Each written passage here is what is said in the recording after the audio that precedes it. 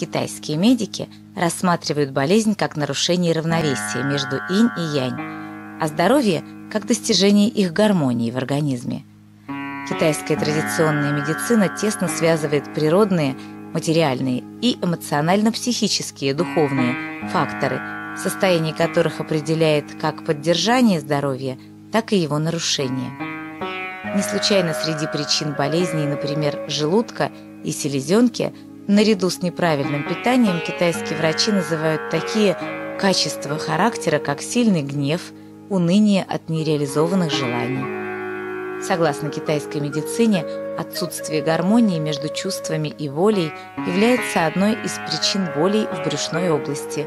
Печальные думы и раздражения способствуют развитию гастритов и язв – а неконтролируемые эмоции влияют на детородную функцию.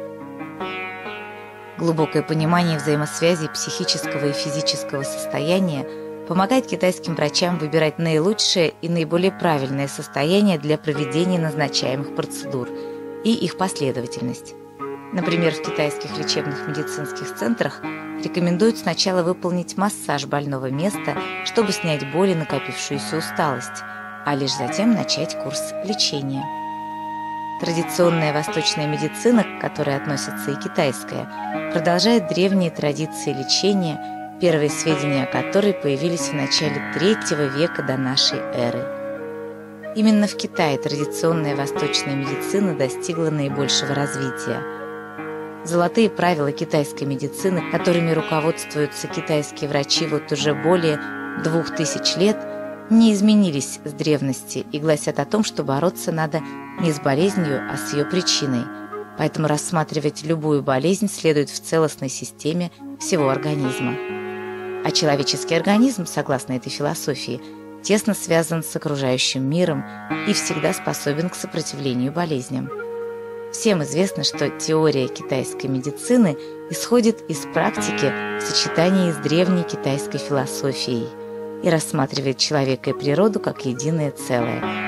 Скорее всего, в этом и кроется главная причина чудесных исцелений, о которых сплошь и рядом рассказывают прибегнувшие к китайской медицине соотечественники.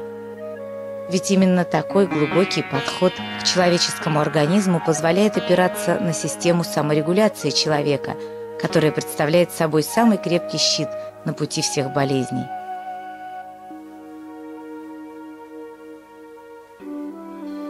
Способы лечения, которые практикуют в местных центрах традиционной китайской медицины, опираются на древние знания.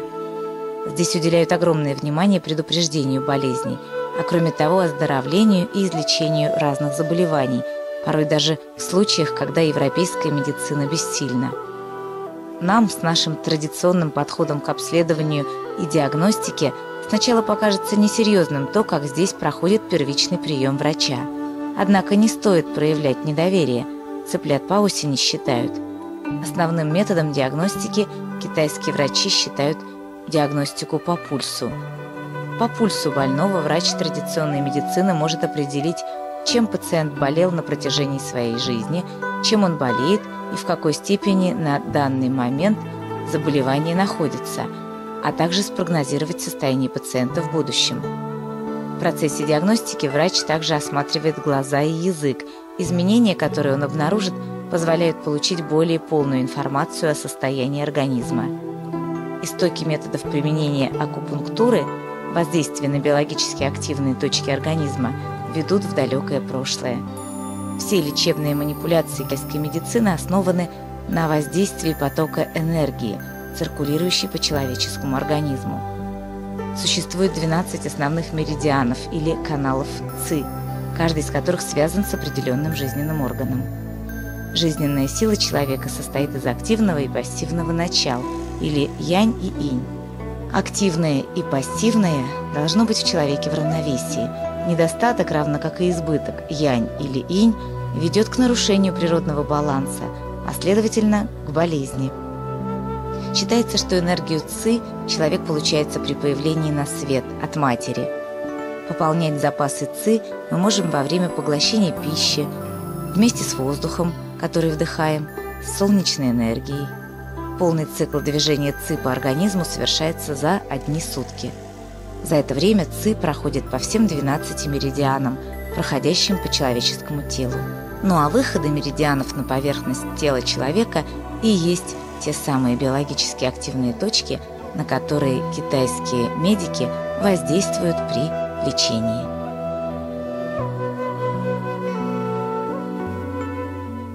Китайский массаж считается одним из самых древних.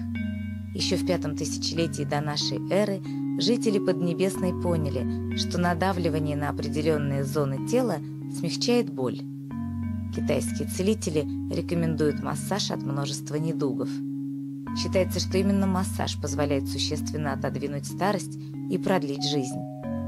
Одним из методов рефлексотерапии, основанным на тысячелетнем опыте китайской, индийской и египетской медицины, является массаж ног. Ноги, считают китайцы, это корень человека, а лечение ног способно излечить все тело. И это действительно так. Издавна известно, что стопа является отражением или проекцией всего организма человека. Каждый жизненно важный орган проецируется на строго определенную часть стопы. При заболевании какого-либо органа в точке или в зоне проекции могут возникнуть болезненные ощущения – кожа может изменить цвет или даже начать шелушиться. Воздействуя на точки проекции, китайские специалисты традиционной медицины направляют энергию в нужном направлении, улучшают кровообращение в соответствующих органах и тем самым улучшают их работу. Массаж ступней мобилизует и защитные силы человека. С помощью этой процедуры в Китае умеют лечить такие проблемы, как аллергия, бессонница, боли в спине – Благодаря правильному воздействию на стопу можно ускорить процессы лечения общих соматических заболеваний, снять нервное напряжение, улучшить циркуляцию крови, восстановить баланс энергий инь и янь, что приведет к оздоровлению всего организма в целом. Массаж ступней – это воздействие на 62 активные точки, соответствующие определенным органам. Опытный мастер-китаец без труда определит состояние вашего здоровья – привычки и даже степень вашей усталости, и сам решит, на какие точки надо оказывать большее воздействие, а на какие – меньшее. Многие китайцы называют ноги вторым сердцем, потому что именно ноги несут на себе всю тяжесть тела, и отношение к ногам должно быть бережным. Задумайтесь об этом и берегите